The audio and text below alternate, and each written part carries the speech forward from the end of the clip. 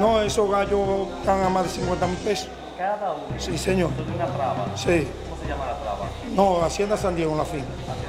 Sí. Villa Tapia. Sí. ¿Y ¿Cómo ustedes dieron con el paradero de este? No, porque allá los haitianos trabajan y sabían dónde yo vivía. Y ahí se lo llevó para Villatap. Fuimos con los haitianos, donde ahí vivía. La policía preso de robo. Sí. No sé cómo se llama el teniente, no. El robo fue en Villa Tapia, No, en Astillo aquí. En la Hacienda San Diego.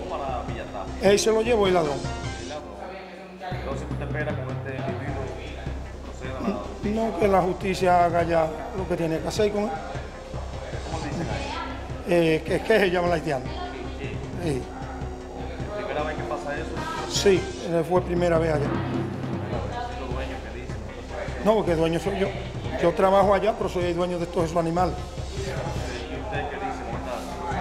No, que hay que meterle todo el peso a la ley. ¿Logró usted recuperar los carros? Sí, yo lo recuperé, porque llegamos a tiempo.